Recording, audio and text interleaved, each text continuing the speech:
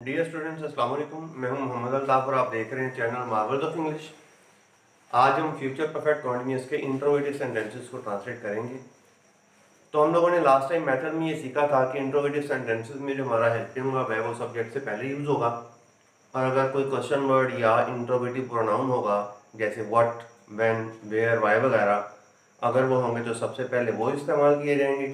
फिर विल या शेल में से कोई एक सब्जेक्ट से पहले और अगर सेंटेंस इंट्रोगेटिव और नेगेटिव होगा तो सब्जेक्ट के बाद नॉट आएगा, फिर हैव बिन उसके बाद आई वाली फॉर्म यानी कि प्रेजेंट पार्टिसिपल अगर ऑब्जेक्ट हो तो वो, और टाइम को शो करने के लिए हमारे पास दो एडवर्ब्स हैं सिंस या फॉर और उसके बाद आएगा टाइम और लास्ट में क्वेश्चन मार्क आई और वी के लिए हमने कहा था कि विल शेल हैव बिन और बाकी तमाम सब्जेक्ट्स के लिए हमने कहा था विल हैव बिन और टाइम के लिए हमने बात कर ली थी कि अगर किसी सेंटेंस में सेकंड मिनट घंटा, दिन हफ़्ता, महीना, साल या सदी या अरसे के अल्फाज आ जाए तो फॉर यूज़ करेंगे, बाकी सब के लिए सेंस यूज़ करेंगे। और सेंटेंस को एनालाइज करने का जो तरीका हमने सीखा हुआ है, लेक्चर नंबर नाइन और टेन में, उसका रेफरेंस जो है वो उसका लिंक जब वो डिस्क्रिप्शन में दे दिया जाएगा, वहाँ से उसको देखा जा सकता है। तो आइए ट्रांसलेशन शुरू करते हैं। तो हमारा फ़र्स्ट सेंटेंस है, वो मार्च से शहर पर हमला करने की क्यों ज़रूरत कर रहे होंगे? फिर हमने ये भी सीखा था कि इंट्रोगेटिव सेंटेंसेस हमारे पास दो तरह के हैं कि एक वो इंट्रोगेटिव सेंटेंसेस हैं जिनका आंसर यस या नो में दिया जा सकता है। तो हमने कहा था कि जिस क्वेश्चन का आंसर यस या नो में दिया जा सकता है, वो हमेशा इंग्लिश में हेल्पिंग अप से ट्रांसलेट किए जाते हैं। और जिन क्वेश्चन के आंसर के लिए हमें कोई डिस्क्रिप्शन देनी पड़ती है, वो हमेशा क्वेश्चन वर्ड्स से शुरू हुआ करते हैं। तो देखिए, वो मार्च से शहर पर हमला करने की क्यों ज़रूरत कर रहे होंगे? अब क्यों का आंसर यस या नो में नहीं दिया जा सकता हमें कोई डिस्क्रिप्शन उसकी वजाहत, यानी कि उसकी रीज़न बयान करनी पड़ेगी यस या नो से काम नहीं चलेगा। इसका मतलब ये डब्ल्यू एच हमने से शुरू होगा, पहली बात। और दूसरी बात ये कि आप यहाँ देख रहे हैं कि March name of the month आ गया है, इसलिए हमें सीन्स यूज़ करना चाहिए।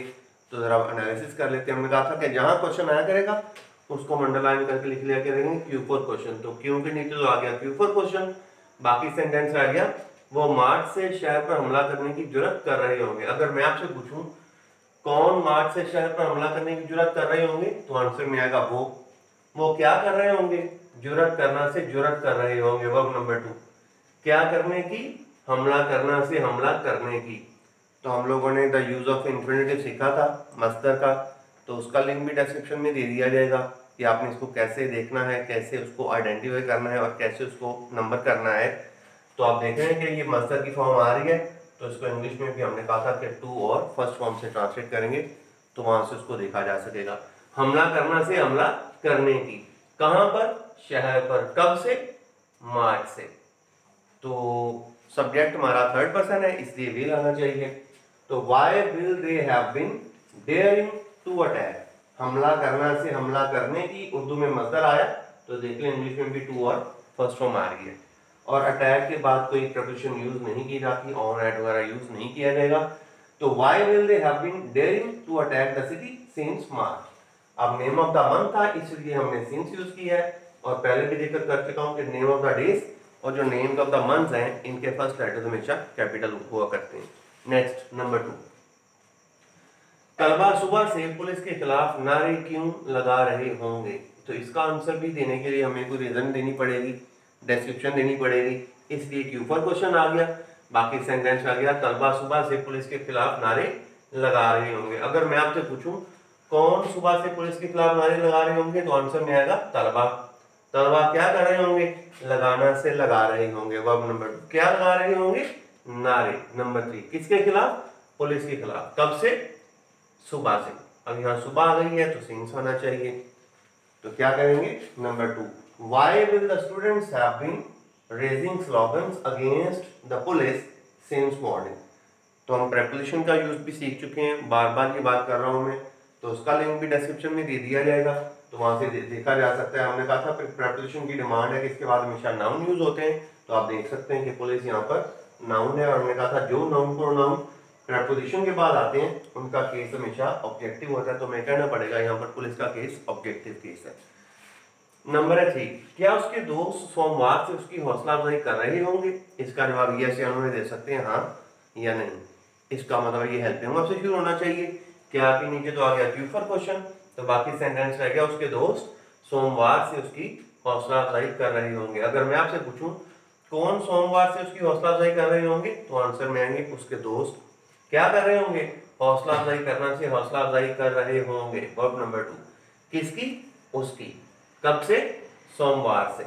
तो वर्ब के बाद पहले हमने होम का आंसर लिया, फिर वेन का। तो चूँकि इसका आंसर यस या नो में आ रहा है ध्यान आइए विल से शुरू होगा। Will his friends have been encouraging him since Monday तो यहाँ पर भी मंडे आया था, इसलिए सिंस यूज़ हुआ है। अब ये नेम ऑफ़ द डे है, इसलिए इसका फ़र्स्ट लेटर भी कैपिटल आ रहा है। नेक्स्ट है नंबर फोर तलबा एक माह से कॉलेज क्यों नहीं जा रहे होंगे? तो इसका आंसर ये ऐसे में नहीं दिया जा सकता, हमें इसकी रीजन बयान करनी पड़ेगी।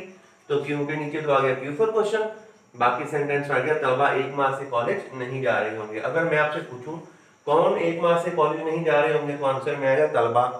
क्या नहीं कर रहे होंगे, जाना से नहीं जा रहे होंगे वर्ब नंबर टू कहा? कॉलेज कब से? एक माह से।